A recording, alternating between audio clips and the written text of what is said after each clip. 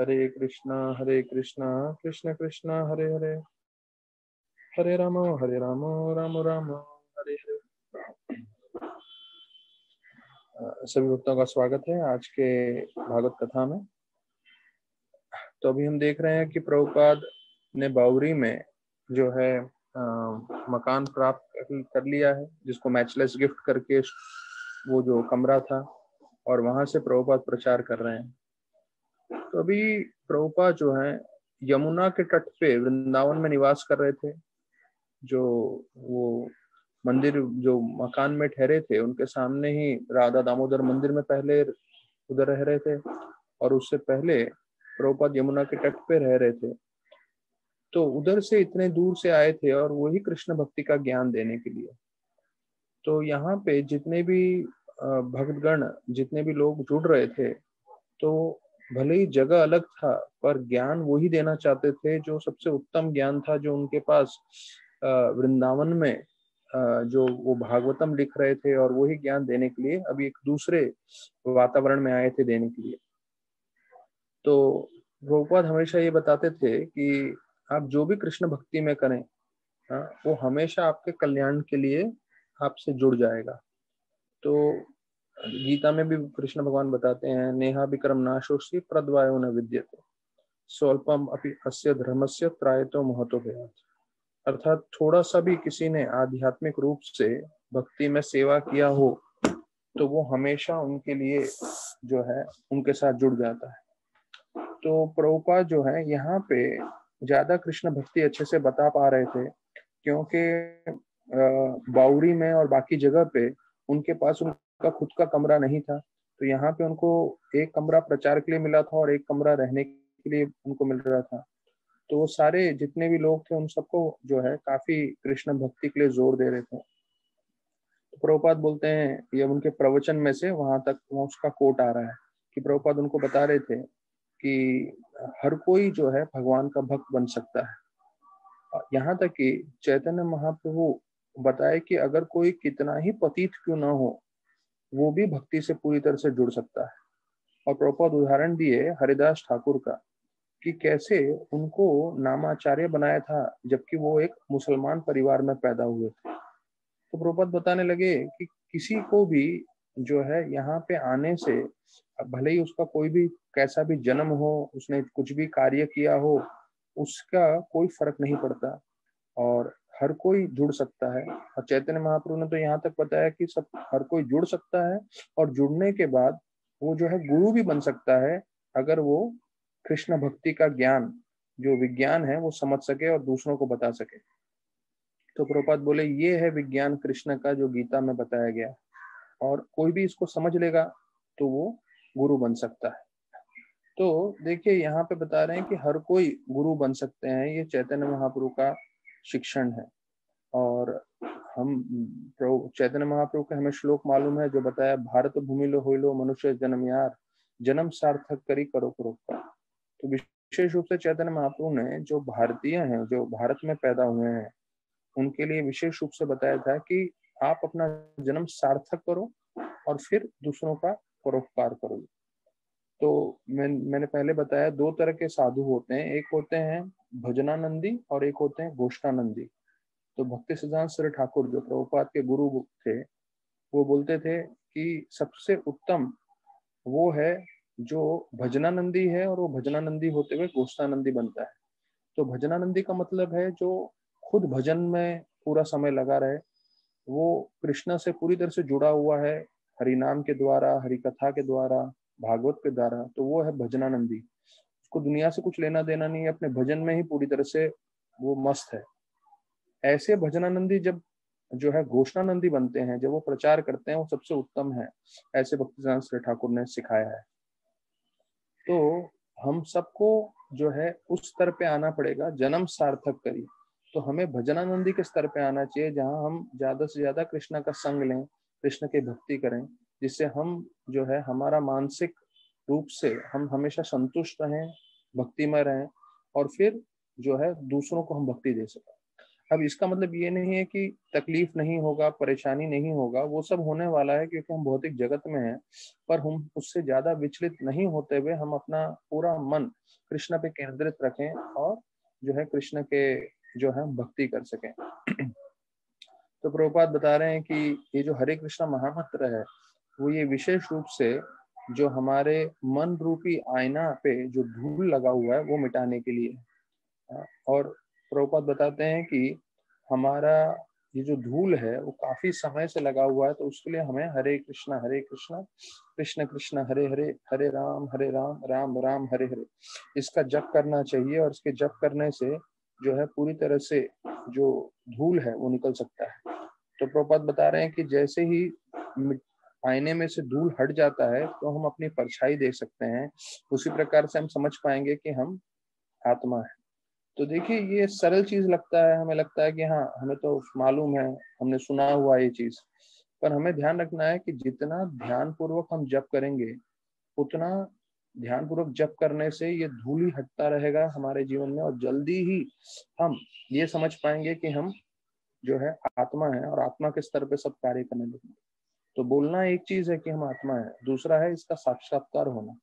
जब तक हमें साक्षात्कार नहीं है, भौतिक जगत में जितने भी इंद्र भोग की चीज़ें हैं, उससे हम हमेशा आकर्षित होते रहेंगे। तो यहाँ पे प्रभुपाद अभी जब प्रवचन दे रहे हैं तो एक शराबी जो है वहाँ पे आ जाता है। तो प्रभुपाद, देखिए, अभी प्रवचन दे रहे हैं, अब प्रवचन के बीच में शराबी आ रहा है।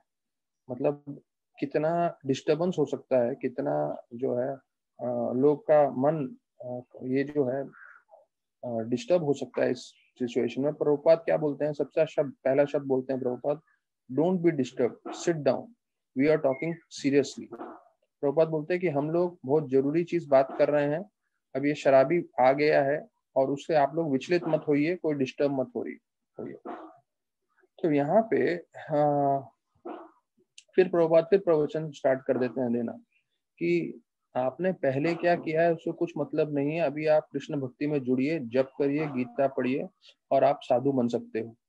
हाँ प्रभुपाद फिर गीता का श्लोक बोल रहे हैं अभी चेत दुराचारो कि आपने भले ही भले ही कोई गलत कार्य किए होंगे तो उससे कुछ लेना देना नहीं है। अभी आप कृष्ण भक्ति कर सकते हैं और पूरी तरह से अपना जीवन शुद्ध कर सकते हैं। और प्रभुपाद बोलते हैं, इसके ऊपर मैं आपको कहानी बताता हूँ। कि हमारा स्वभाव कैसा रहता है। और हमने सब सुना हुआ है जो हम लोग बोलते हैं ना कहावत चोर चोरी से जाए पर हेरा फेरी से ना जाए। तो प्रभुपद इसका पूरा विस्तार पूर्वक बताते हैं कि कैसे एक चोर था जो तीर्थ स्थान पे जाता है। क्योंकि वो चोर था रात को उठ जाता है तो सब लोगों का आ, सामान चुराने लगता है। फिर बोलता है अरे मैं कैसे चोरी कर सकता हूँ? मैं तो तीर्थ स्थान पे हूँ। तो क्या करता है वो?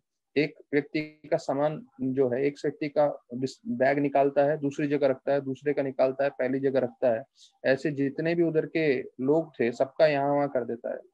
फिर वो लोग सुबह को उठते हैं और बोलते हैं, अरे, मेरा बैग कहाँ है? मेरा बैग कहाँ है? तो फिर ये व्यक्ति बोलता है, देखो, आपका बैग यहाँ है, आपका बैग यहाँ है। तो बोले, ये किसने किया? बोला, मैंने किया। बोला, मैं चोर हूँ, पर मैं चोरी नहीं करना चाहता था तो कम से कम मैंने हेरा फेरी कर दी। तो प्रभुपद बोलते हैं, ये है, जो है, आपका हैबिट। जो हमारी आदतें लग जाती हैं तो वो इतना आसान नहीं है प्रभुपाद बोले। लेकिन प्रभुपाद बोले कि आप कृष्ण भक्ति में जुड़ जाइए तो कृष्ण भक्ति की शक्ति से आप लोग का शुद्धिकरण हो जाएगा। और कृष्ण भगवान बोलते हैं शिप्रम भगवती धर्मात्मा। क्योंकि अगर आप कृष्ण भक्ति में लगे हो तो he will become saintly very soon मतलब बहुत जल्दी ही शुद्ध हो जाएगा। तो देखिए, प्रभुपाद जब ये चीज़ बोल रहे थे, किन लोगों को बोल रहे थे? हिप्पियों को जो सब ड्रग्स पीने वाले हैं और कई सालों से ड्रग्स पी रहे हैं और भविष्य में भी हो सकता है ड्रग्स पीते रहेंगे। और प्रभुपात का पूरी तरह से श्रद्धा था कि भगवान ने बोला, अगर कोई भक्ति से जुड़ जाएगा तो वो धीरे धीरे शुद्धिकरण हो जाएगा। और वास्तविक ऐसा हुआ भी और ऐसे ही हिप्पी लोगों ने पूरे विश्व भर में इस्कॉन की स्थापना की।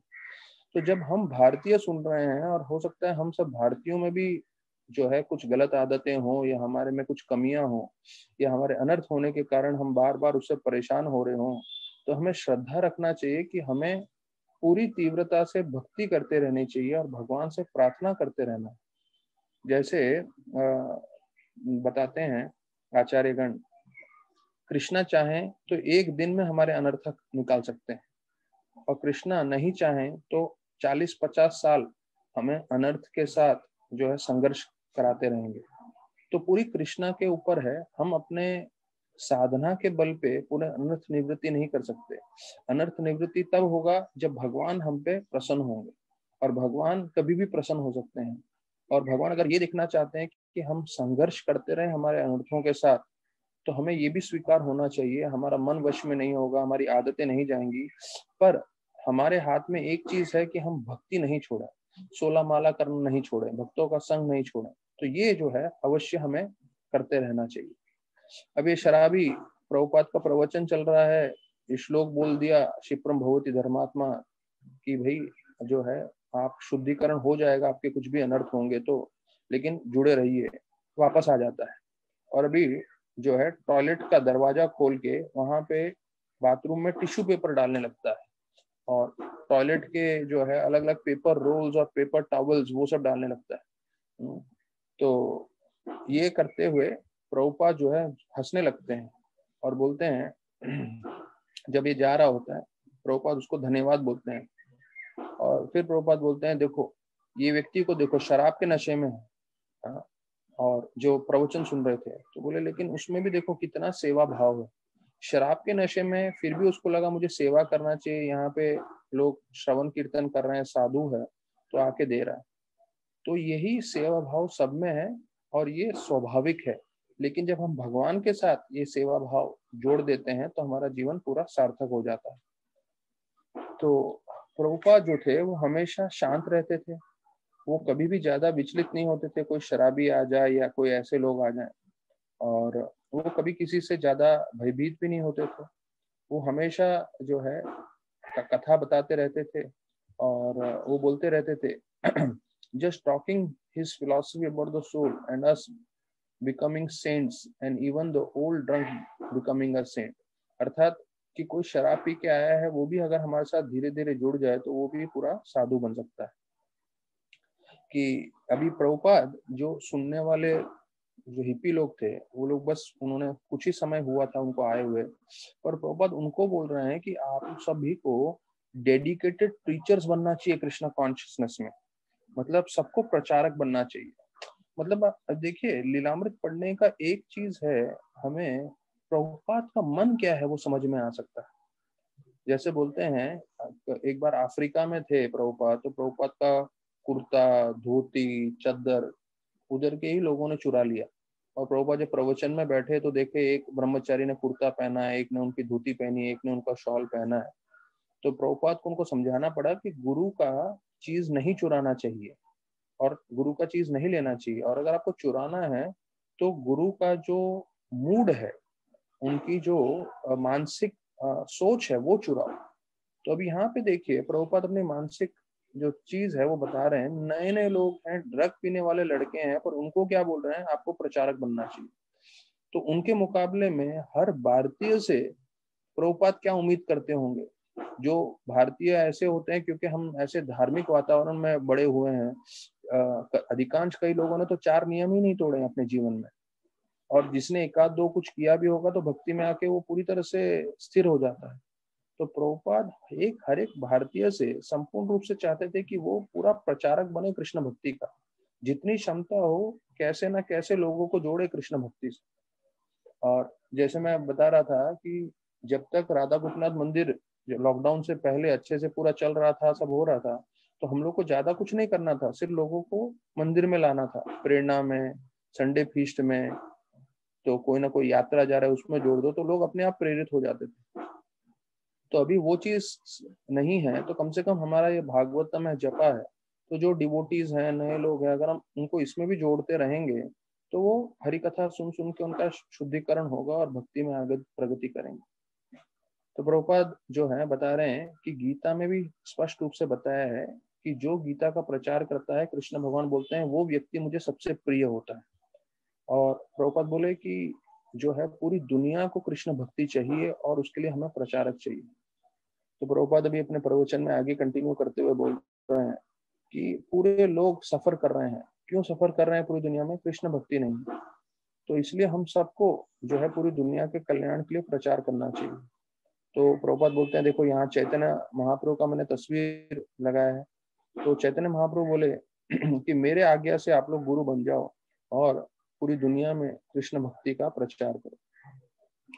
तो अभी बताया जाता है एक व्यक्ति जो है, बीच में अभी ये प्रभुपात का प्रवचन चल रहा है और प्रवचन के बीच में बोलने लगता है। तो अभी मतलब प्रभुपात का अभी हो सकता है अपना स्टोर फ्रंट आ गया प्रभुपात का अपना जगह था। पर ये नहीं समझना चाहिए कि प्रचार इतना आसान था। वहाँ पे भी प्रभुपात को बहुत सारी मुश्किलें झेलनी पड़ी। अब यहाँ पे एक तो हमने सुना बाहर कितना आवाज़ आ रहा था, बच्चों का, गाड़ियों का, कुत्ते भौंकने का, और किसी को भी आप रोक नहीं सकते। उसके बीच में शराबी अराबी आ जाते थे। अब उसके ऊपर, क्योंकि लोग हिप्पी थे, सब ड्रग वरग पिए हुए थे तो उसमें से एक जो है, कुछ तो बोलने लग गया एकदम से, प्रवचन के बीच में। तो प्रभुपात बोले, अभी तुम डिस्टर्ब नहीं कर सकते। तो बोले, नहीं नहीं, मैं बोलूँगा अभी। और फिर झगड़ा होने लग गया। तो प्रभुपात बोले, बिल्कुल नहीं, अभी नहीं बोल सकते तुम। तो बोल रहे मैं बोलने की कोशिश कर रहा हूँ मुझे क्यों रोक रहे हो?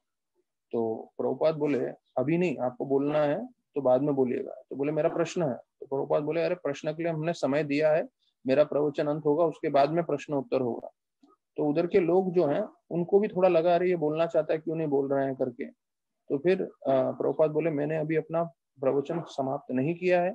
जब मैं समाप्त करूँगा उसके बाद आप लोग जो है प्रश्न पूछ सकते हैं करके। तो मतलब प्रभुपाद ऐसे लोगों के साथ चर्चा कर रहे थे जो बिल्कुल ही अनकंट्रोल थे पूरे बोलते हैं ना बिल्कुल उनके ऊपर नियमित नियम करना बहुत ही मुश्किल था। और फिर उसने जो है आ, कुछ तो बोला तो प्रभुपाद बोले ठीक है अभी हम लोग कीर्तन करते हैं। और फिर प्रभुपाद जो है कीर्तन में सबको इन्वॉल्व कर लिया। तो नौ बजे तक प्रोग्राम हुआ। उसके बाद जो है, एक लड़का है, एक सेब लेकर आया और चाकू लेकर आया और एक वाटी लेकर आया। तो प्रभुपाद ने उनके सबके सामने देखा कितने लोग हैं और एक ही सेब का छोटा छोटा टुकड़ा किया और एक सेब का पूरे छोटे छोटे टुकड़े करके पूरे वाटी में रखा और एक पीस प्रभुपाद ने खुद ने अपने मुँह में डाला बिना होठों को स्पर्श किए हुए। और मतलब प्रभुपाद ने इसको ऑफ़र किया होगा, या यहाँ पे वर्णन नहीं है, पर ऑफ़र करके उन्होंने पहले से एप्पल प्रसाद होगा और फिर वो सबको बांटा। तो देखिए, प्रभुपाद के पास पैसा नहीं था उस समय। और प्रभुपाद लोगों को फिर भी जो है कीर्तन, प्रवचन और प्रसाद देना चाहते थे। तो भले ही प्रसाद में एक एप्पल का छोटा टुकड़ा ही क्यों ना हो, पर प्रभुपाद वो देते थे लोगों को। तो देखिए, प्रसाद कितना महत्वपूर्ण है, हमें समझना चाहिए इससे समझ में आ रहा है। और फिर वहाँ पे जो है, कैसे और लीला हुआ, वो हम आगे चर्चा करेंगे। तो अभी यहीं पे हम लीलामृत को जो है, विराम करते हैं। इसके आगे जो है, हम श्रीमद भागवतम में आ जाते हैं। श्रीमद भागवतम में हमने कल सुना कि चैतन्य महाप्रभु की कृपा से अगर हमारे कृष्ण महामंत्र जप करें तो राजनीतिक चीज़ों में हमें पढ़ने की आवश्यकता नहीं है और बिना राजनीतिक चीज़ों में पढ़ते हुए हम जो है पूरी तरह से आध्यात्म का फ़ायदा उठा सकते हैं कीर्तन करके। नहीं तो कलयुग का प्रभाव इतना शक्तिशाली है, जो है सब लोग उससे प्रभावित होते जा रहे हैं। कलयुग मतलब झगड़ा करना तो हर जगह झगड़ा होते जा रहा है। तो ये झगड़ा नहीं होने देने के लिए हमें जितना हो सके तीव्रता से भक्ति करनी है और नाम जप करना। है तो अभी हमने देखा कि कैसे सारे के सारे जो साधु गण थे, वो सोचे कि हम लोग वेना को जाके समझाते हैं। अब वेना को जब समझाने की बात आ रही है तो ध्यान रखिए, ये साधु ऐसे लोग थे जो पूरे पृथ्वी पे जो शासन करने वाले राजा थे, उनको मार्गदर्शन कर रहे थे। तो वो पहले उनके पिता जो है, अंग को मार्गदर्शन करते थे। अब वही साधु संत जो है वेना को शिक्षण दे रहे हैं। तो अभी आने वाले जो श्लोकों में हम सुनने वाले हैं, वो ध्यान रखिए, वो शिक्षण ऐसे हैं, अगर वो हम शिक्षण अच्छे से समझ लें, हम पूरे पृथ्वी पे राज कर सकते हैं। अर्थात पूरे पृथ्वी पे सही तरीके से राज्य कैसे करना है, और पूरे पृथ्वी पे लोगों का कल्याण कैसे करना है, वो भले ही एक व्यक्ति हो या पूरा का पूरा राज्य हो, पूरा पृथ्वी का, उन सब का कल्याण कैसे हो सकता है वो बताना भी शुरुआत करेंगे। तो वो चौदह से बाईस श्लोकों में है। तो अगर हम भागवतम का कोई भी भाग लें और उसको अच्छे से समझें तो हम समझ सकते हैं कि शुद्ध भक्ति और पूरा ज्ञान इसमें दिया गया है। एक माता जी थी, लेडी, उसने देखा कि जो शिष्य हैं वो प्रभुपाद को अमेरिका में गुरु के जैसे, भगवान के जैसे उनकी पूजा कर रहा है। तो उसको थोड़ा अलग लगा और बोले, अरे, ये क्या हो रहा है? यहाँ तो ये लोग सब आपको भगवान के जैसे पूज रहे हैं। तो प्रभुपाद बोले, ये लोग मुझे भगवान के जैसे पूज रहे हैं और मैं अपने गुरु को भगवान के जैसे पूछता हूँ और ये परंपरा है। प्रभुपाद बोले। तो प्रभुपाद बताना चाहते थे कि ऐसा नहीं है कि मैं सिर्फ़ भगवान बन के मैं स्वीकार कर रहा हूँ। उनका कर्तव्य है मुझे भगवान समझ के पूजना, लेकिन मैं भी अपने गुरु को भगवान समझ के पूछता हूँ, जिसके कारण मेरे में इतनी आध्यात्मिक सेवा करने की इच्छा बनी रहती है करके। तो एक ब्रह्म वैवर्त पुराण में आता है, जहाँ गंगा माता कृष्ण भगवान से वार्तालाप कर रही है, बात कर रही है। तो संस्कृत के सब श्लोक भी हैं, पर हम उसमें नहीं जाएँगे। मैं सिर्फ़, अः, ब्रह्म वैवर्त पुराण में से आप लोग को जस्ट उसका अनुवाद बता रहा हूँ। तो गंगा माता बोलती हैं कि, अरे, आप चले जाओगे तो लीला समाप्त करके, क्योंकि जब कृष्ण भगवान अपनी लीला समाप्ति करने वाले थे, तब गंगा माता के पूछती है कि, मेरा क्या होगा? आप तो चले जाएँगे। तो कृष्णा भगवान गंगा माता को बोलते हैं, आप चिंता मत करिए, क्योंकि उसको लग रहा था कि अभी कलयुग प्रारंभ होने वाला है तो सब लोग भर भर के पाप करेंगे और वो पाप मेरे में छोड़ के जाएँगे तो मेरा शुद्धिकरण कैसे होगा? तो कृष्ण भगवान माता गंगा को बोलते हैं, जब भी कोई भक्त नाम जप कर रहा है, जब भी कोई भक्त भागवत कथा कर रहा है, और जब भी कोई भक्त आप में आके स्नान करेगा तो आपका शुद्धिकरण हो जाएगा पाप से। तो देखिए, जब हम भागवतम कर रहे हैं, शायद हमें मालूम भी नहीं है। ये तो एक चीज़ मैंने आपको ब्रह्म ब्रह्म वैवर्त पुराण से बता दिया। ऐसे हज़ारों चीज़ें हैं जिसका कल्याण हो रहा है जस्ट एक जगह पे बैठ के भागवतम बोलने और सुनने से। तो यहाँ पे वर्णन आ रहा है कि कृष्ण भगवान ने फिर गंगा माता को बोला कि आप पाँच हज़ार साल तक रहिएगा, उसके बाद लुप्त हो जाइएगा, क्योंकि उसके बाद पाप और बढ़ जाएगा। और फिर बोलते हैं कि दस हज़ार साल तक जो है, अभी पाँच सौ साल हो चुका है कलयुग का तो जो है पाँच सौ साल हो गया चैतन्य महाप्रभु को आके। लेकिन अब से जैसे प्रभुपात ने बताया, दस हज़ार साल तक जो है प्रचार रहेगा, मेरी किताबें रहेंगी और इस्कॉन रहेगा। तो दस हज़ार साल बोलते हैं, ये जो है गोल्डन पीरियड है। उसके बाद घोर कलयुग पूरी तरह से प्रारंभ होने वाला है। तो उससे पहले जो है भक्तों को प्रभुपाद ने बोला कि जो इस्कॉन के डिवोटीज हैं, उनको ऐसी तीव्रता से भक्ति करना चाहिए कि यही जीवन में वो अपना जीवन सार्थक करके भगवत धाम चले जाएँ। उनको वापस आने की ज़रूरत नहीं है।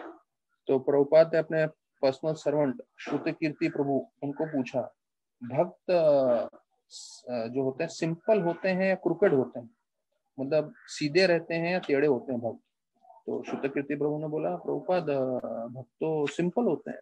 प्रभुपाद बोले, नहीं, भक्त टेढ़े होते हैं। टेढ़े हो, मैं मैं भी टेढ़ा हूँ, प्रभुपाद बोले, तभी तो आप सबको भक्ति में लेकर आया। नहीं तो कोई सिंपल हो, कोई सीधा साधा व्यक्ति हो या सीधा साधा हो तो वो भक्ति में सबको खींच नहीं सकता। तो प्रपात खुद बोले कि थोड़ा टेढ़ा होना कभी कभी आवश्यक है मतलब सिर्फ़ भक्ति में लोगों को जोड़ने के लिए। तो यहाँ पे जो है साधु सब इनको बस बता रहे हैं, वेन को, निपावर्या निबोधेत, ये ते विज्ञापयम भो, आयु श्री बल कीर्ति नाम तव ताता, तात विवर्धनम चौदह श्लोक में आ रहा है कि आपका वर्धन होगा, बढ़ेगा, क्या? आपका आयु। मतलब आपका जो जीवन है वो बढ़ेगा।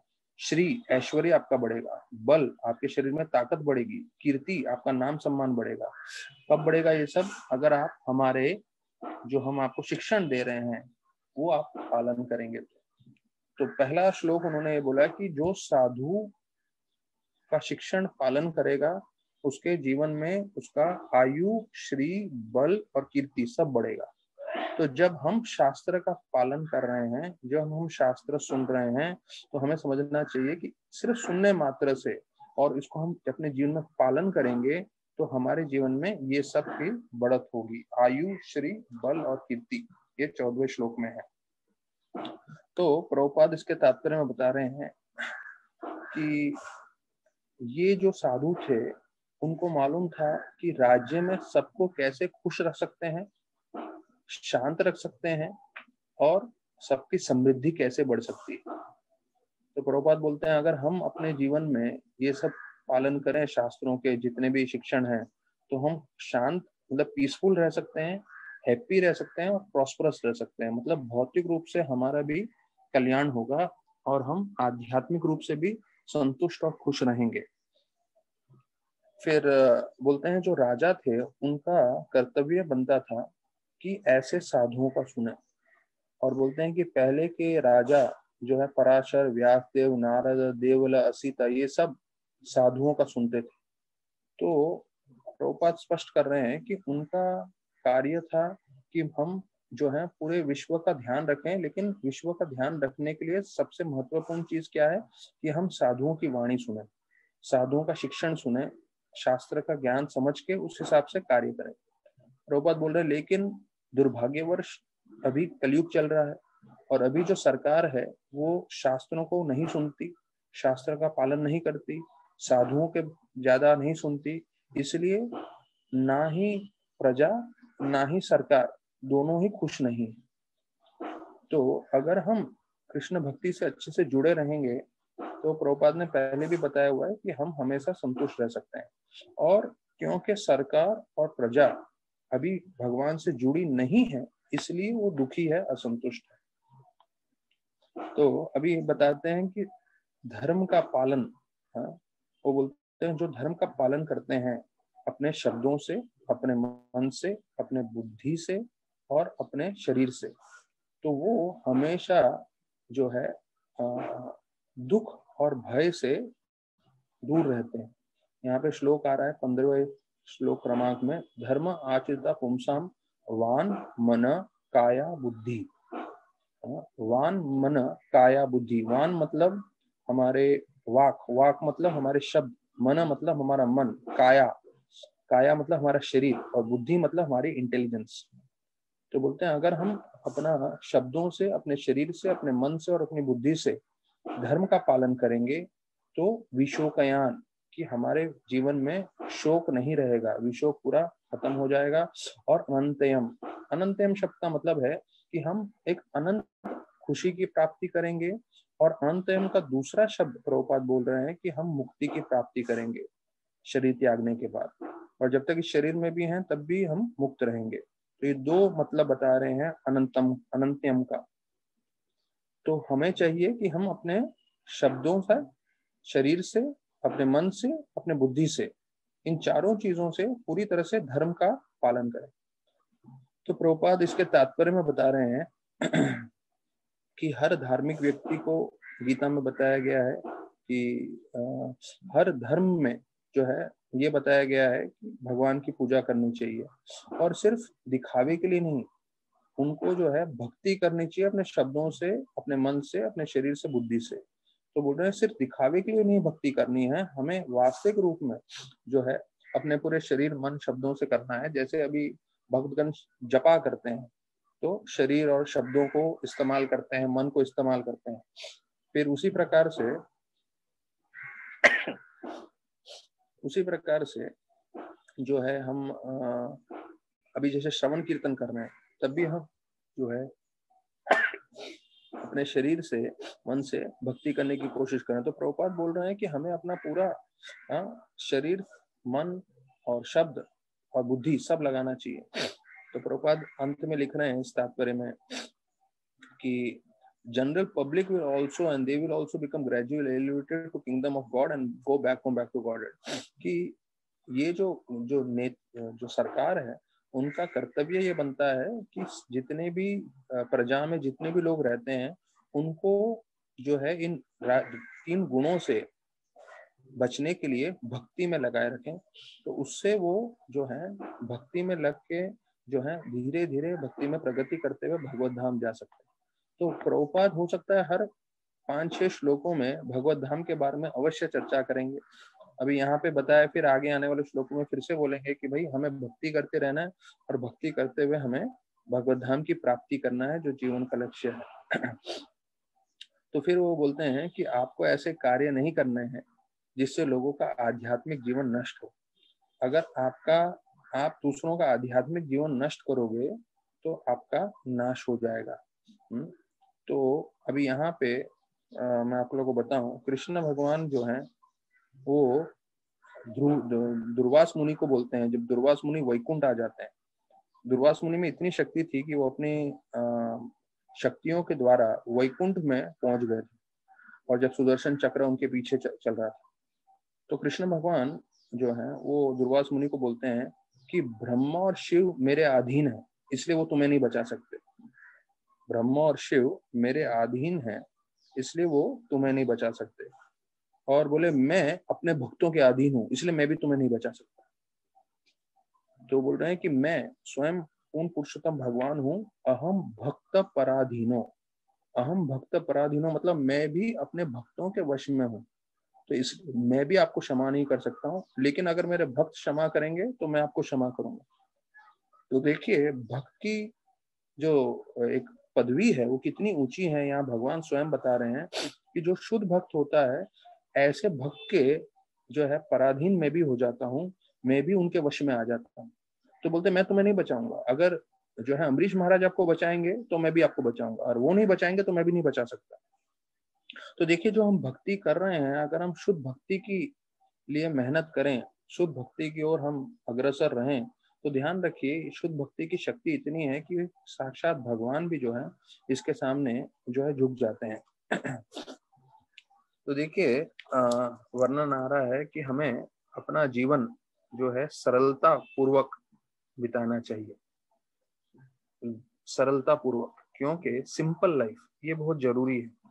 अगर हम सिंपल लाइफ नहीं जी रहे हैं तो हमारे लिए आध्यात्मिक तरक्की करना बहुत मुश्किल है। विशेष रूप से कई लोग जो है शो ऑफ़ की ज़िंदगी जीते हैं, दिखावे की तो वो जो है ज़्यादा टिकने वाला नहीं है। तो हमें कोशिश करना चाहिए कि हमें अपना एक सरल जीवन व्यतीत करना चाहिए। तो अगर हम सरल जीवन व्यतीत करेंगे तो हम जीवन भर भक्ति कर पाएँगे। तो ये बहुत ज़रूरी प्रिंसिपल है सभी भक्तों के लिए कि ज़्यादा दिखावे का जो है, जीवन व्यतीत ना करें। क्योंकि जितना हम दिखावे का जीवन व्यतीत करते रहेंगे तो फिर हम वो शो शाइन में अपनी, अपना समय ज़्यादा से ज़्यादा बर्बाद कर देंगे व्यस्त कर देंगे। तो प्रभुपाद सोलवे श्लोक में बता रहे हैं कि अभी क्या है, जब से ऐसे राजा और लोगों ने इंद्र भोग करना चालू किया तो फिर जो है पूरे पृथ्वी में से राजाओं को हटा दिया और उसके जगह पे जो है डेमोक्रेसी या जनतंत्र वो लेकर आए। तो प्रभुपात बता रहे हैं, उससे कुछ फ़र्क नहीं पड़ने वाला है। सब लोग इंद्र भोगी करेंगे। जब तक जो है आप भक्ति नहीं समझेंगे तो अगर आप राजा को हटा के डेमोक्रेसी लाएँगे, उससे समाधान नहीं होने वाला है। तो जितना भी आप राजनीतिक स्तर पे बदलाव करो, जब तक भक्ति का प्रवेश सब जगह नहीं आएगा, तब तक बदलाव नहीं हो सकता। फिर जो है, ये साधु वेनो को समझाने लगे, राजा को, कि जब राजा पूरी प्रजा को बचाता है, भले ही वो चोर डकैत हो या मंत्रियों से, जो मंत्री चोर डकैत तो उनसे बचाता है तो फिर वो उनसे टैक्स ले सकता है, आयकर ले सकता है और फिर उससे वो जो है अपना जीवन सार्थक कर सकता है और फिर वो जीवन के पश्चात भी उसका जो है आध्यात्म जीवन चलता रहेगा। तो उसमें यहाँ पे वर्णन कर रहे हैं कि मंत्री जो चोर डकेत जैसे हो सकते होते हैं तो उसके ऊपर भी प्रोपद बताते हैं। बोलते हैं, अगर राजा जो है पूरी तरह से, अः, आध्यात्म स्तर पे ना हो तो क्या होता है, जो मंत्री होते हैं, वो भी चोर डकैत के स्तर पे आ जाते हैं और फिर जितनी भी प्रजा है, सबको लूटते रहते हैं। तो इसलिए अभी जो है, हम देख रहे हैं कि बहुत ज़्यादा चोर डकैत बढ़ गए हैं। तो वो जो है, सरकार में भी है और बाहर भी है, इसलिए हम लोग ज़्यादा कुछ नहीं कर सकते। तो ये श्रीमद भागवतम के प्रोपात बारहवें स्कंद, पहले अध्याय और चालीसवें श्लोक का वर्णन करते हुए बोलते हैं।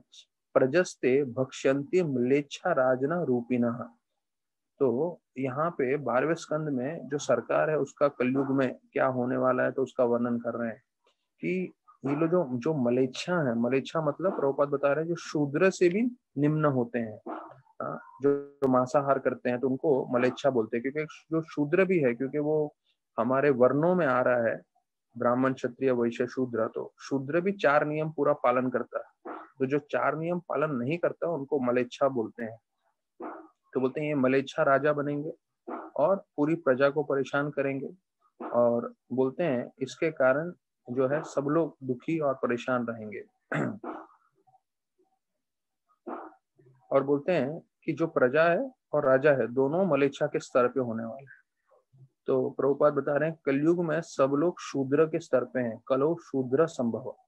तो अभी ये राजाओं को और प्रजा को मलेच्छा बोला है, लेकिन उनकी जो शुरुआत शुरुआत हो रही है कि किसी में भी ब्राह्मण के गुण नहीं है, क्षत्रिय के गुण नहीं है, यहाँ तक कि कलो, कलयुग में सब शूद्र ही होने वाले हैं। तो शूद्र कौन होते हैं? जो बाकी तीन वर्णों की सेवा करने के लिए सिर्फ़ योग्य है, उनकी और कोई योग्यता नहीं है। तो ये लोग जो है बुद्धिमान नहीं होते हैं, ये लोग सिर्फ़ सेवा कर सकते हैं, और कलयुग में ऐसे ही लोग रहेंगे जो दूसरों की सेवा करें। तो अभी आप देखिए पूरा के पूरे जनसंख्या में सब लोग जॉब करते रहते हैं और जॉब करना मतलब किसी ना किसी के अंडर में काम करना। तो ये जो है गुण बताया गया है।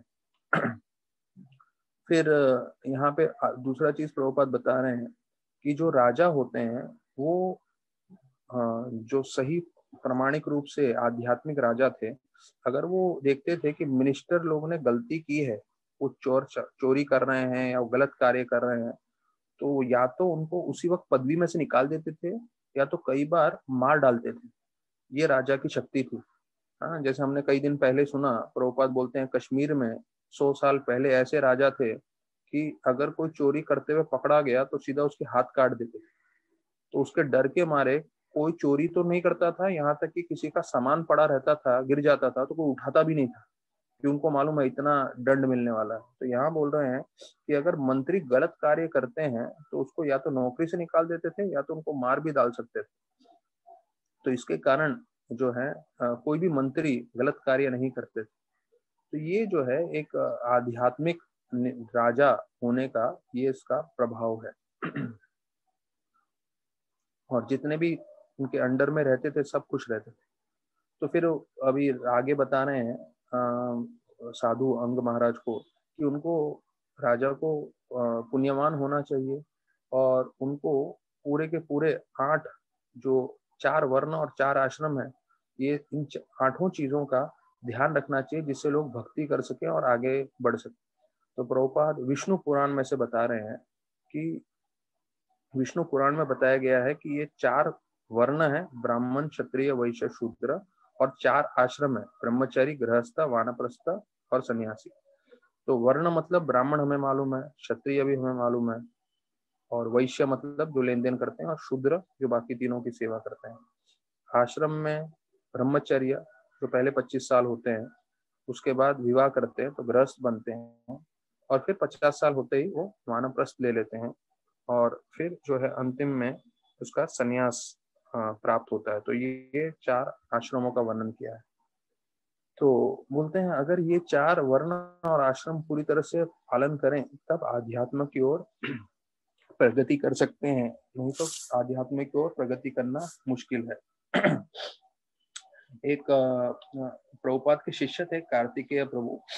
तो जब वो अपनी माता से मिलने गए, क्योंकि उनका अंतिम समय चल रहा था, कार्तिकेय प्रभु की माता का तो उनकी माता जो है, ज़्यादा आध्यात्म की ओर आकर्षित नहीं थी। तो उनको इतना ज़्यादा श्रद्धा भी नहीं था कृष्ण भक्ति की ओर।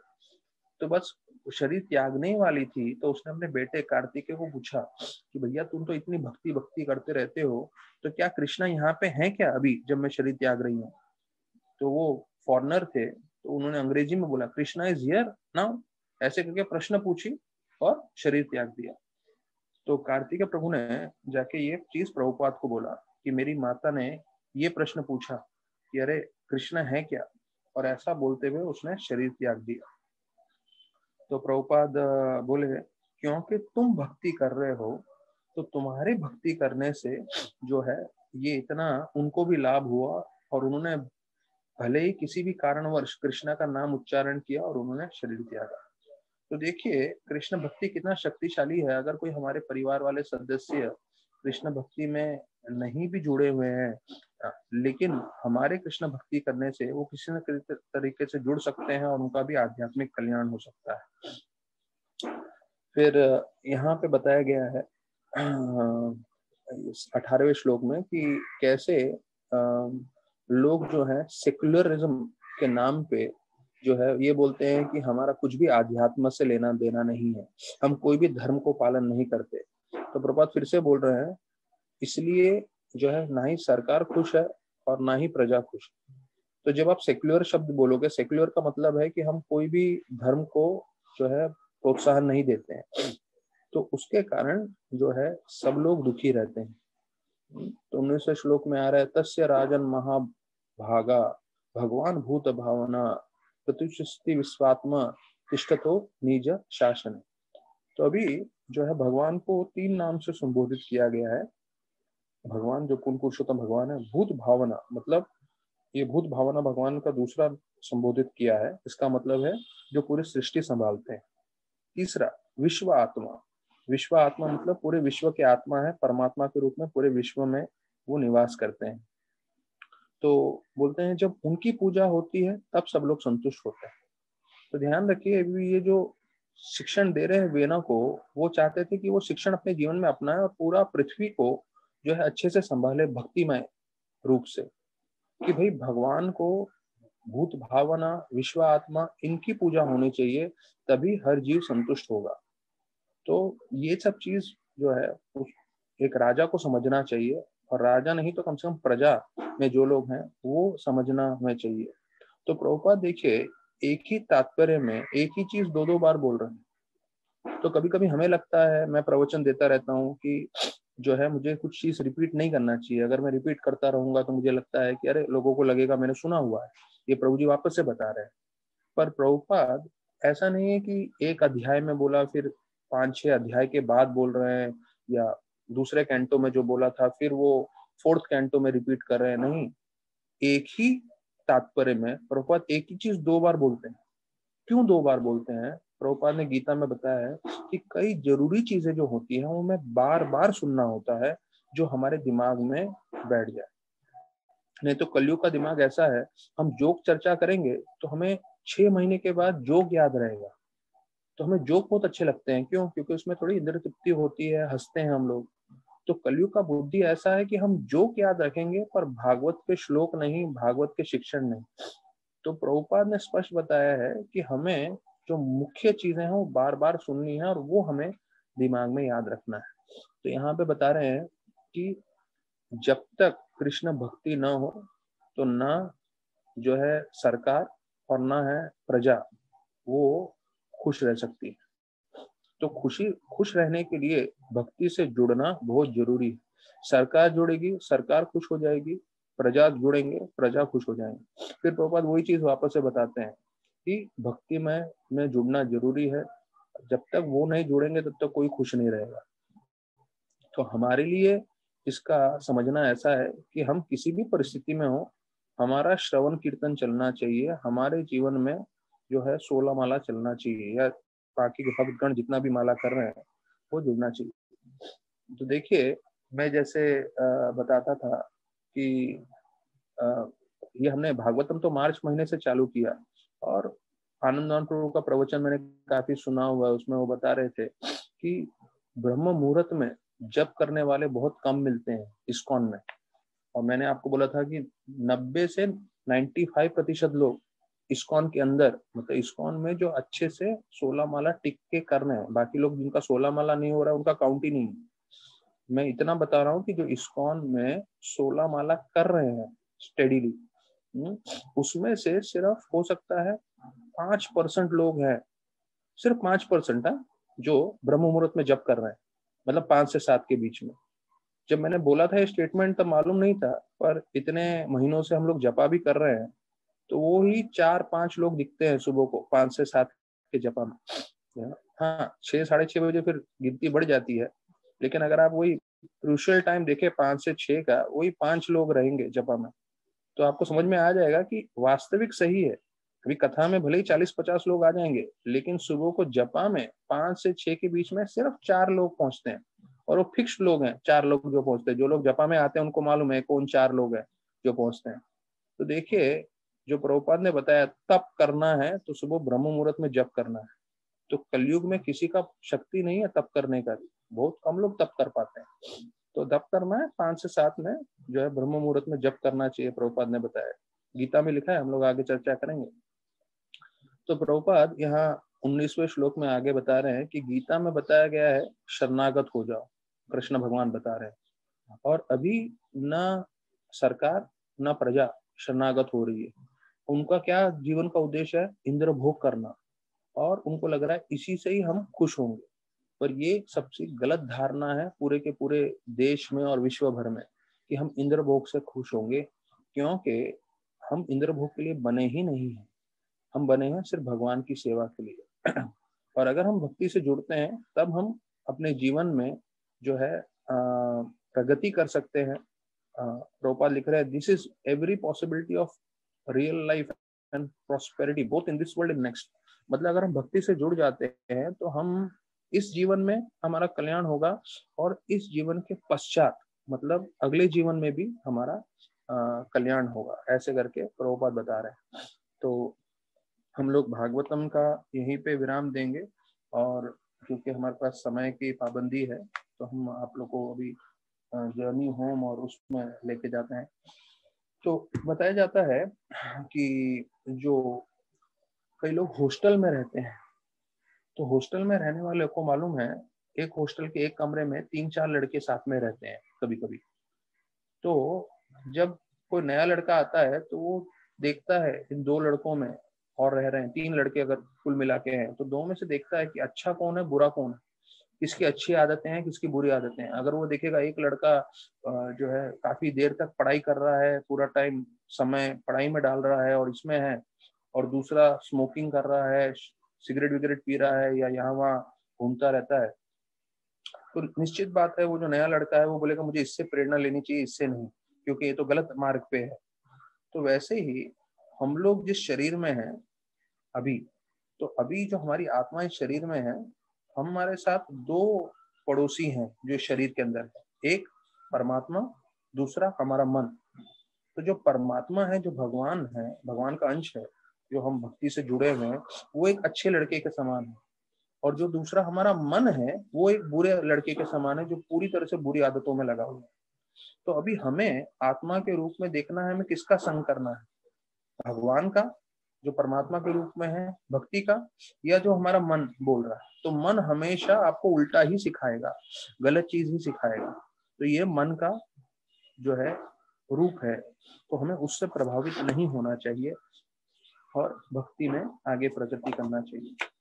तो कल तक हमने जो है चौबीसवें श्लोक तक हमने सुना। आज हम पच्चीसवें श्लोक में चर्चा करते हैं ब्रह्म संहिता का। यक्षुरे सविता सकला ग्रहाणाम राजा समस्त सुरमूर्ति सुरमूर्तिरशेष तेजा।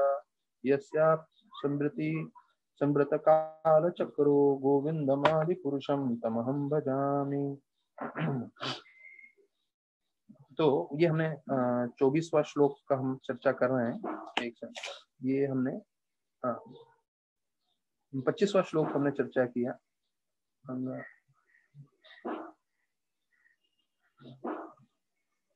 ठीक है, हम लोग चौबीसवा श्लोक भी ले लेते हैं और चौबीसवें श्लोक, हमने पच्चीसवा भी श्लोक चर्चा किया है तो पच्चीस का हम लोग अनुवाद सुन लेते हैं। फिर हम चौबीस भी हाँ चौबीस हमने कल चर्चा कर लिया था। तो पच्चीसवें श्लोक में बोल रहे हैं कि सूर्य जो है, सभी जितने भी प्लैनेट्स हैं, जितने भी लोक हैं, वो सबके राजा माने जाते हैं। लेकिन ये सूर्य जो है, वो भगवान के आँखों के समान है और कृष्ण भगवान के निर्देशन के द्वारा जो है, वो पूरे विश्व का भ्रमण कर रहे हैं। अर्थात सूरज को हम मानते हैं कि सूरज के कारण बाकी सब लोगों में रोशनी है और उसके कारण जो है जीवन चल रहा है। लेकिन ये जो सूरज है, वो स्वयं जो है भगवान कृष्ण के अधीन है, ये ब्रह्मा जी बोल रहे हैं। इसलिए हमें कृष्ण को प्रणाम करना चाहिए, उनकी भक्ति करनी चाहिए। तो ये पच्चीसवा श्लोक था। फिर छब्बीसवें श्लोक में आ रहा है, धर्मो तपाप निचितांसी ब्रह्मादि कीट पटगावयस्य जीव यदत्र विभव प्रकट प्रभाव गोविंदमादि पुरुषम तमहम भजामी। तो बोल रहे हैं कि जो भी अच्छे गुण हैं, ये जो शास्त्र है, तपस्या है, यहाँ तक ये सब जीव है, और ब्रह्मा से लेके चीटी तक, सबकी उत्पत्ति कहाँ से हुई है? भगवान गोविंद से। तो कृष्ण भगवान सभी चीज़ों के स्तोत्र है, इसलिए हमें हमेशा जो है उनकी भक्ति करनी है, उनका श्रवण करना है। तो अभी हम यहाँ राधानाथ महाराज का देख रहे हैं कि राधानाथ महाराज जो है बौन महाराज के आश्रम में है और वहाँ पे उनको जो है कथा उनको रहने के लिए बोला गया था क्योंकि एक महीना उनको आराम के लिए बताया गया था, उनको टाइफॉइड हो गया था। तो अभी एक चीज़ ध्यान रखिएगा सब भक्तगण कि जब हम हरी कथा सुन रहे हैं, आपको लग रहा होगा कि हम लोग रोज हरी कथा सुनते रहते हैं, पर ये हरी कथा इतना महत्वपूर्ण है कि भगवान जब स्वयं प्रकट होते हैं इस पृथ्वी पे तो भगवान अपनी खुद की लीलाओं से बताते हैं कि कैसे मैं स्वयं, भले मैं पूर्ण पुरुषोत्तम भगवान हूँ, मैं सब कार्यों के साथ जो है भगवान की हरि कथा सुनता हूँ, या उनके भक्तों की हरि कथा सुनता भले ही आप कृष्ण भगवान ले लीजिए, भले ही आप राम भगवान ले लीजिए, भले आप चैतन्य महाप्रभु ले लीजिए, इन सभी भगवान जब भी अवतरित हुए हैं तो भगवान ने अलग अलग कार्यों के साथ हमें स्पष्ट बताया है कि भगवान स्वयं कैसे हरि कथा की तरफ़ आकर्षित होते हैं। तो बताया जाता है जब मैत्रेय ऋषि पांडवों को, जब पांडव जंगल में जो है निवास कर रहे थे तो सारे पांडव, उसमें कुंती महारानी और द्रौपदी तो वो सब जो है मैत्रेय ऋषि के पास बैठ जाते हैं कथा सुनने के लिए और कृष्ण भगवान वहाँ से भ्रमण करते हुए आते हैं। और जब देख रहे होते कथा चल रहा है तो वो भी आके बैठ जाते हैं। तो मैत्री ऋषि पूरी कथा सुना देते हैं और कथा सुनाने के बाद बोलते हैं, देखिए, हरि कथा इतना आकर्षित है कि वो हरि को भी आकर्षित कर लेता है। तो वो हरि को भी आकर्षित करता है और देखिए, कृष्ण भगवान भी बैठे हुए हैं, वो भी सुन रहे हैं। तो अच्छा मैंने एक चीज़ नहीं बताया, जब मैंने गंगा और कृष्ण भगवान के वार्तालाप के बारे में चर्चा किया तो गंगा माता ये पूछती है कि मेरा शुद्धिकरण तो हो जाएगा, क्योंकि भक्तगण भागवत करेंगे, कथा करेंगे, स्नान करेंगे, जप करेंगे, पर भक्तों का शुद्धिकरण कैसे होगा? तो भगवान कृष्ण गंगा माता को बताते हैं कि क्योंकि वो सारे भक्त मेरे से जुड़े हुए हैं तो मैं स्वयं उन सभी भक्तों का पूरी तरह से शुद्धिकरण करूँगा। तो ये है हरि कथा की शक्ति कि जो भी इससे जुड़ेगा उसका शुद्धिकरण हो जाएगा। तो भगवान कृष्ण स्वयं मैत्री ऋषि के सामने बैठ के हरि कथा सुन रहे हैं। जब लव और कुश जो है रामायण का पाठ करते हुए आते हैं जैसे उनको वाल्मीकि ने सिखाया था तो पूरी की पूरी जो है अयोध्या का राज्य उनकी तरफ़ आकर्षित हो जाता है। और जब वो महल में प्रवेश करते हैं तो जितने मंत्री और जितने दूसरे आ, सब थे राजा वो भी आकर्षित हो जाते हैं। यहाँ तक कि स्वयं राम जी आकर्षित हो जाते हैं और वो आके सुनने लगते हैं। तो देखिए, ये राम जी की कथा में भी आ रहा है कैसे वो भी भगवान की कथा में, जो है रामायण की कथा में पूरी तरह से मग्न हो जाते हैं और सुनने लगते हैं। और चैतन्य महाप्रभु के जीवन में हमने देखा है कि वो कैसे गदाधर पंडित के साथ बैठ के भागवत सुनते थे और भागवतम सुनते समय बताया जाता है दोनों के आँखों से इतनी अश्रु बहती थी, आँसू निकलते थे कि जो भागवतम के श्लोक है, जो उस समय प्रिंटिंग नहीं होता था 500 साल पहले इंक से लिखते थे तो वो जो है, वो भी जो है धुल जाता था। तो चैतन्य महाप्रभु, बताया जाता है, प्रहलाद महाराज का, ध्रुव महाराज का कथा कई बार सुनते रहते थे, कई बार सुनते रहते थे। तो हम देख रहे हैं, कृष्ण भगवान भगवान राम और चैतन्य महाप्रभु के जीवन से भी हमें स्पष्ट मालूम चलता है कि कैसे वो हरिकथा की तरफ़ आकर्षित थे। तो हमें भी थोड़ा समय दे के हमेशा हरि कथा सुनते रहना है, क्योंकि हरि कथा से जुड़ने से हमारा जीवन सार्थक हो जाएगा। प्रभुपाद के पास जो है एक माता जी आई और उसको कैंसर था और एक महीने में वो शरीर त्यागने वाली थी। तो प्रभुपाद ने उनको देख के बोला कि हो सकता है मैं आपसे पहले शरीर त्याग दूँ। तो शरीर तो निश्चित रूप से हम सभी त्यागने वाले हैं। और प्रभुपाद ने बोला, मुख्य चीज़ ये है, शरीर त्यागने से पहले आपने अपना जीवन सार्थक किया है कि नहीं? और जीवन सार्थक करने के लिए भागवतम श्रवण करना बहुत ज़रूरी है। और प्रभुपाद ने अपने जो सेक्रेटरी थे उस वक्त, धनंजय प्रभु, उनको बुलाया और बोला कि ये माता जी कैंसर से पीड़ित है, वो व्हील चेयर में रहेगी, पर आपकी ज़िम्मेदारी है कि रोज जब भागवतम कथा हो तो उनको लेकर आइए और भागवतम सुनाइए। तो प्रभुपाद के मन में स्पष्ट था कि अगर हम जो भागवतम श्रवण करेंगे तो उससे हमारा जीवन सार्थक होगा। हमारे जीवन में बाकी कुछ भी आने दीजिए लेकिन हमारे जीवन में श्रवण जो है हरि कथा का वो नित्य रूप से चलते रहना चाहिए वो कभी छूटना नहीं चाहिए। तो राधानाथ महाराज बताते हैं कि आ, मैं और असीम जो है बौन महाराज से मिलते थे और सुबह सुबह और उसके बाद में जैसी दोपहर हो जाता था तो आठ बजे से दोपहर के दोपहर तक जो है मैं आ, मंदिरों में दर्शन के लिए जाता था। तो मैं कृष्णदास बाबा जी महाराज को जो है हमेशा देखता रहता था, वो ज़मीन पे बैठ के एकदम भक्तिमय रूप से भजन करते रहते थे। और मैं भी उनके साथ बैठ जाता था। तो महाराज बोलते हैं कि उनके आँखों में से एक आध्यात्मिक जो है आध्यात्मिक शक्ति मुझे दिखती थी। और वो कई बार भजन करते समय जो है अपने आंसुओं को आने से रोकते थे। मतलब वो इतने भाव के स्तर पे थे कि भजन करते करते उनकी आँखों में से आँसू निकलते थे कृष्णदास बाबा जी के। और फिर बोलते हैं कि वो मृदंग बजाते थे। उनका आवाज़ जो है बहुत ज़्यादा मधुर नहीं था, सरल था, लेकिन पूरा भक्ति भाव से था। और जब भी मैं सुनता था पूरा मेरे हृदय में प्रवेश करता। तो देखिए धीरे धीरे महाराज जो है, हम सबको जो है एक चीज़ बताना चाहते हैं कि कैसे जो है हमारा जो है अध्यात्म जीवन में हमारे पास कोई गुण हो ना हो ज़्यादा रूप से, पर जो है हमें भक्ति भाव से हर कार्य करना चाहिए, क्योंकि भगवान जो है भक्ति की तरफ़ जो है ज़्यादा आकर्षित होते हैं। अगर आप गीता के नवे अध्याय के छब्बीसवें श्लोक को देखेंगे तो उसमें दो बार भक्ति शब्द का प्रयोग आया है। पत्रम फूलम पुष्पम फलम तो यू में भक्ता प्रचती तद हम भक्ति उपरतम। तो भक्ति भाव से जब हम करते हैं तो भगवान प्रसन्न तो बता रहे हैं कि साढ़े चार बजे रोज मंगल आरती होता था और कृष्णदास बाबा जी को जो है मंगल आरती गाने के लिए सब बोलते थे। तो ये जो सुबह सुबह का मंगल आरती होता था, वो ऐसा जोरदार कीर्तन में बदल जाता था और बाबा जी जो है, वो अपना छोटा सा, ऐसे तो कद में छोटे थे, बूढ़े थे, लेकिन वो ऐसा कीर्तन करते थे जो है, सब लोग बहुत उत्साहित हो जाते थे।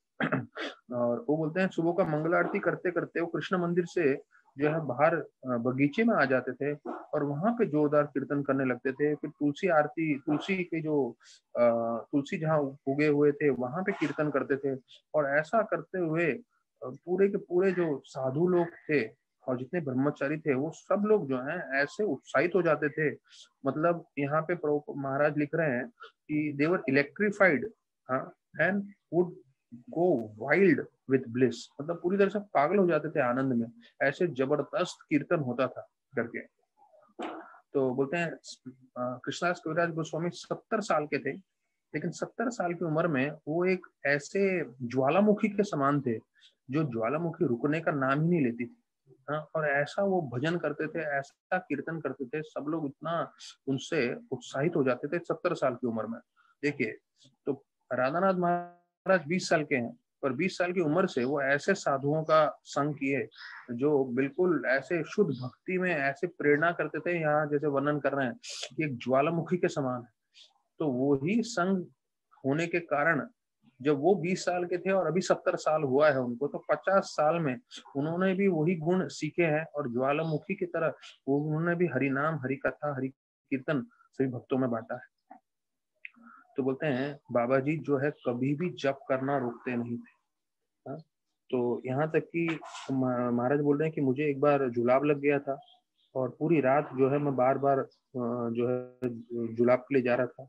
और पूरी रात में देख रहा था कि जो है, ये बैठ के जप कर रहे हैं। और हमेशा जप करते रहते थे। तो किसी को मालूम ही नहीं कि क्या कभी इन्होंने जप करना रोका भी है क्या? फिर महाराज बोलते हैं कि जब मैं रात्रि को कभी उठता था तो मैं उनके खिड़की के पास जाता था।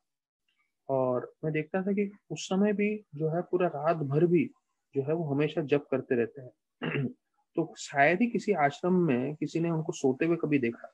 तो एक शुद्ध भक्त का ये लक्षण है कि मतलब वो बिना सोए भी जो है पूरी तरह से भक्तिमय रूप में, आध्यात्मिक रूप से जो है प्रेरित रह सकते हैं। या जैसे दूसरा एक भागवतम में मैं सुन रहा था कि कई बार जो शुद्ध भक्त होते हैं, वो शायद एक घंटा, दो घंटा सोते हैं।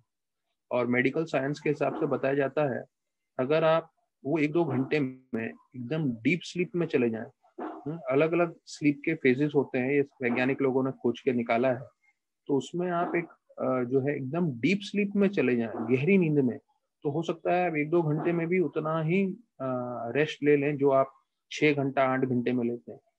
तो बोलते हैं आजकल कई घड़ियाँ भी आती हैं। वो घड़िया लगा, घड़ी पहन के आप सोते हैं तो आप जब सुबह उठेंगे तो उसमें मालूम चल जाएगा कि कितना देर आप ये डीप स्लीप में गए थे करके। तो ऐसा एक भागवतम में मैंने सुन रहा था तो बता रहे थे। तो अभी ये कृष्णदास बाबा जी के पास महाराज जब भी मिले तो उनसे उन्होंने सिर्फ़ इतना ही सुना, हरे कृष्ण। उन्होंने हरे कृष्णा के अलावा कुछ नहीं बोला। तो महाराज बोलते हैं कि मुझे ऐसा लगा कि शायद उनको अंग्रेज़ी नहीं आता था। तो ऐसे करके उनको लगने लगा। तो अभी इसके ऊपर एक पूरी कथा आती है कि कैसे महाराज एक दिन मंगल आरती में नहीं उठते हैं। तो इसके ऊपर हम कल चर्चा करेंगे कि मंगल आरती में नहीं आने के कारण उनको डांट पड़ती है। अभी ये जो है स्टार्टिंग में जब भक्ति में धीरे धीरे आ रहे हैं, जुड़ रहे हैं तभी जो है उनको कैसे डांट पड़ती है और तो वो हम सुनेंगे। पर अभी गीता पे हम लोग आ जाते हैं। गीता पे हमने जो है इकतीस श्लोक तक चर्चा किया और हमने ये देखा कि अर्जुन जो है वो युद्ध नहीं करना चाहते थे कि उनको लगा कि मुझे अपने परिवार वालों को नहीं मारना है और उनसे युद्ध नहीं करना है। तो फिर अभी बत्तीसवें श्लोक से आगे आ रहा है। वो बोल रहे हैं कि क्यों जो है मैं ये राज्य लेके मुझे क्या मिलेगा? क्या खुशी मिलेगी अगर मैं अपने सारे परिवार वालों को जो है मैं उनको मैं मार दूँगा तो? और यहाँ पे मेरे गुरु हैं, मेरे पिता हैं, मेरे दादाजी हैं और मेरे जो है पोते हैं वगैरह वगैरह सारे मित्र हैं। तो इसलिए वो यहाँ पे युद्ध नहीं करने की चर्चा करते हैं। तो प्रभुपाद बता रहे हैं, कृष्ण भगवान का नाम गोविंद है। क्यों? गोविंद का मतलब क्या है कि वो हमारे इंद्रियों को संतुष्टि दे सकते हैं और वो गैया को भी संतुष्टि देते हैं। इसलिए उनका नाम गोविंद पड़ा है। तो यहाँ पे अर्जुन जो है, वो बोल रहे हैं, कृष्णा को कि आप गोविंद हैं तो आप मेरी इंद्रियाँ संतुष्ट करें।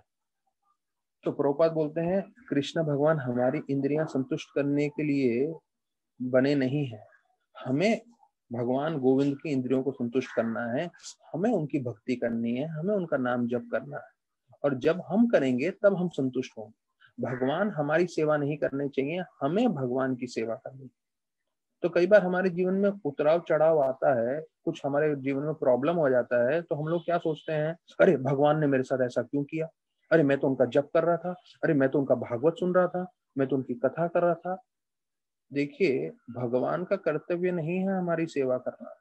हमारा कर्तव्य है जीवन पर्यंत भगवान की सेवा करना। और भले ही कितने ही उतराव चढ़ाव आए, उसके साथ भी हमें भगवान को संतुष्ट करना है, तभी हम संतुष्ट होंगे। तो प्रभुपाद बोलते हैं कि भौतिक जगत में लोग सोचते हैं कि मेरी इंद्रियों की तृप्ति होनी चाहिए और भगवान कौन होने चाहिए? जो है ऑर्डर सप्लायर मतलब जो जो मैं मांगू, सब देने चाहिए भगवान। तो ये प्रभाव से कोई आदमी संतुष्ट नहीं होगा। लेकिन जो भगवान को संतुष्ट करेगा तो वो भगवान प्रसन्न होते ही अपने आप पूरी तरह से संतुष्ट हो जाएगा। तो प्रभुपाद लिख रहे हैं, क्योंकि एक भक्त जो है, हमेशा भगवान को संतुष्ट करना चाहता है तो इसलिए और वो हर एक चीज़ स्वीकार करता है, जो चीज़ भगवान की सेवा में लगता है तो अपने लिए कुछ नहीं स्वीकार करता है, वो सब चीज़ भगवान के लिए स्वीकार करता है। तो अगर उसको ऐश्वर्य मिले तो ऐश्वर्य भी स्वीकार करेगा। लेकिन अगर उसको अपने इंद्र भोग के लिए थोड़ा सा भी कुछ चीज़ मिल रहा है तो वो स्वीकार नहीं करता ही। Will he should not accept a farthing मतलब अपने कार्य के लिए और भगवान की इच्छा न हो तो हमें कुछ भी अपने जीवन में स्वीकार नहीं करना चाहिए। तो अभी अर्जुन को ये नहीं मालूम चल रहा था कि भाई रणभूमि में जितने भी आए हैं उनको कृष्ण ने पहले ही मार दिया है। और कृष्ण चाहते थे कि अभी वो निमित्त बने हाँ, निमित्त बने। मतलब जो कृष्ण भगवान की इच्छा है, वो इनके द्वारा पूरी करना चाहते थे और बोलते आप निमित्त बनिए और निमित्त बन के आप इन सबका वध करिए। तो एक जो भक्त होता है, वो कभी भी उनके साथ कोई बुराई करता है तो उसके साथ प्रतिकार नहीं करता। तो ये जो है, पैंतीसवा श्लोक का जो आखिरी तात्पर्य का भाग है, वो बहुत ज़रूरी है हमारे लिए, वो ध्यान से सुनिए। बोलते हैं, जो एक भक्त होते हैं, उनके साथ कोई गलत कार्य करता है तो भक्त कभी प्रतिकार नहीं करता? हम्म? कि उसके ऊपर किसी ने गलत कार्य किया वो हमेशा जो है क्षमा कर देता है और वो सब चीज़ों पे ध्यान नहीं रखता लेकिन भगवान ऐसे व्यक्ति को कभी क्षमा नहीं करते हम्म, तो यहाँ पे स्पष्ट बताया है कि भगवान अगर कोई वैष्णव के साथ गलत कार्य करता है तो बिल्कुल क्षमा नहीं करते और प्रभुपाद बोल रहे हैं कि भगवान का कोई अपराध करे तो भगवान अपने लिए कभी क्षमा कर देंगे लेकिन अगर किसी भक्त का अपराध हुआ है तो भक्त को कभी क्षमा नहीं करेंगे ऐसे बता रहे हैं। मतलब भक्त के प्रति किसी ने अपराध किया है तो ऐसे व्यक्ति को कभी क्षमा नहीं करेंगे। तो ध्यान जो है, ये ध्यान रखना है। भगवान अपने लिए अगर उनका कोई अपमान कर देता है तो क्षमा कर लेते हैं। लेकिन अगर उनके भक्तों का कोई अपमान करता है तो भगवान कभी क्षमा नहीं करते। तो फिर यहाँ बोलते हैं कि, अरे, हमें पाप लगेगा अगर हम इन सबको मारेंगे। तो ये उनका एक और कारण था। तो प्रभुपाद यहाँ तात्पर्य में बताते हैं कि छह तरह के लोग होते हैं जिनको हम हत्या कर दें तो पाप नहीं लगता।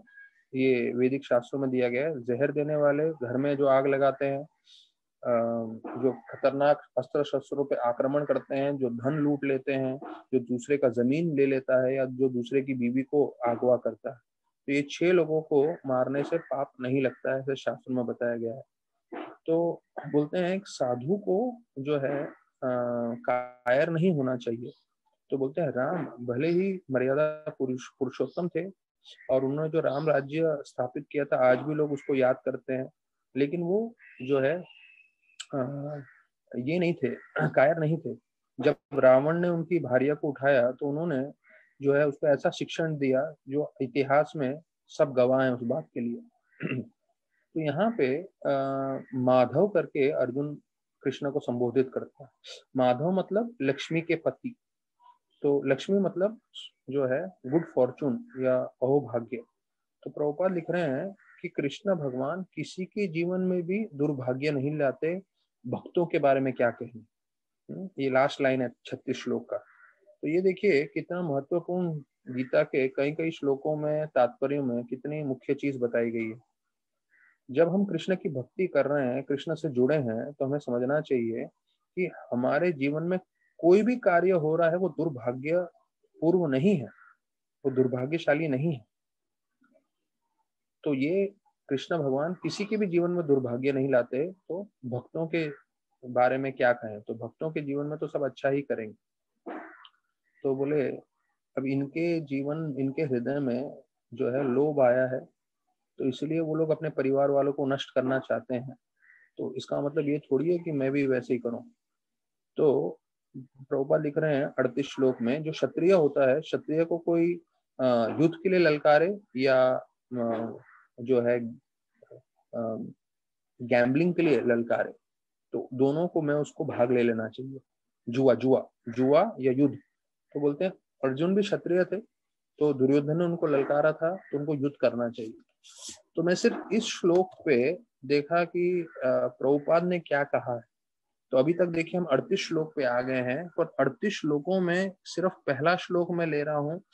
इस पहले श्लोक में मैं आपको बता रहा हूँ कि प्रभुपाद ने जब इस श्लोक पर प्रवचन दिया था तो प्रभुपाद ने क्या बताया? अभी तक के जो अभी तक के जितने भी श्लोक हुए मैंने किसी में प्रभुपात का प्रवचन में क्या बताया था, वो चर्चा नहीं किया है। मैं इस श्लोक से प्रारंभ कर रहा हूँ और हो सकता है मैं समय निकाल के पीछे के भी सारे श्लोक पढ़ूँगा। और जब भी हम गीता पढ़ रहे हैं तो गीता के तात्पर्य के साथ साथ प्रभुपाद ने इन श्लोकों में जहाँ जहाँ भी विश्व भर में प्रवचन दिए थे तो प्रभुपाद के भी जो मुख्य पॉइंट्स हैं, वो भी मैं आप लोग को बताऊँगा। देखिए, भागवतम तो अभी हमें सुनते रहना है तो किसी को कोई जल्दी नहीं है, कुछ खत्म भी करने में घाई नहीं करना है हमें तो श्रवण के बारे में नई नई चीज़ सुन पाएँगे, सीख पाएँगे तो हमारे लिए अच्छा ही है। प्रभुपाद का पहला पॉइंट है इस श्लोक को लेके, काम और जो लोभ है, जब भी हमारे जीवन में आएगा, पहला पॉइंट प्रभुपाद बता रहे हैं, हमारी बुद्धि पूरी भ्रष्ट कर देगा। तो प्रभुपाद बोलते हैं intelligence is lost when lust and greed enters in our mind and heart and life तो हमें ध्यान रखना है हम काम को और लोभ को जो है प्रवेश करने नहीं दें अपने जीवन में। अगर ये दोनों चीज़ हमारे जीवन में प्रवेश हो गए तो ध्यान रखिएगा हमारी बुद्धि भ्रष्ट हो जाएगी। हम्म? तो दुर्योधन की बुद्धि भ्रष्ट हो गई थी प्रभुपात बोल रहा है। इसलिए वो अपने परिवार वालों को मारने के लिए आ गया। तो अर्जुन बोल रहा है, उसकी बुद्धि भ्रष्ट हुई है, मेरी थोड़ी बुद्धि भ्रष्ट हुई है। हा? वो लोभ से प्रेरित है, मैं थोड़ी लोभ से प्रेरित हूँ। तो मैं क्यों मारू अपने परिवार वालों को? तो प्रभुपाद एक पॉइंट ये बोलते प्रभुपाद फिर दूसरा पॉइंट बोलते हैं, देखिए, जब किसी को भूख लगी होती है तो खाना खाता है, संतुष्ट हो जाता है। हम सबको मालूम है। प्रभुपाद बोलते हैं, उसी प्रकार से जब हम क्रोध में आते हैं तो क्रोध कैसे संतुष्ट होता है? जब सामने वाले व्यक्ति जिसपे हम क्रोध, क्रोधित हुए हैं, हम उस पर चिल्लाते हैं, हम उसको डांटते हैं, फटकारते हैं तो हमारा क्रोध संतुष्ट हो जाता है। ऐसे करके प्रभुपाद बता रहे हैं। लेकिन लोभ कभी संतुष्ट नहीं होने वाला। तो ध्यान रखिए, अगर हम लोग में थोड़ी लोभ की प्रवृत्ति है तो हमें समझना चाहिए, जीवन पर्यंत लोभ संतुष्ट नहीं होने वाला है। और प्रभुपाद इसके बारे में दो चीज़ बताते हैं। अगर किसी व्यक्ति को पूरी दुनिया मिल जाए, दूसरा, इस दुनिया का हर एक इंद्रभोग वो करे, उसके बाद भी वो संतुष्ट नहीं होगा। ये है लोभ का असर। दिस इज़ ग्रीड तो देखिए लोभ कितना खतरनाक चीज़ है। मतलब अभी प्रभुपात के जब मैं प्रवचन में जा रहा हूँ तो मुझे और गहराई में चीज़ समझ में आ रहा है। मुझे लगता था हाँ लोभ है लोभ है। प्रवचन में बहुत आसान है बोलना, काम, क्रोध, लोभ, मोह। लोभ ऐसा चीज़ है कि पूरी दुनिया का सत्ता मिल जाए, तब भी संतुष्ट नहीं होगा।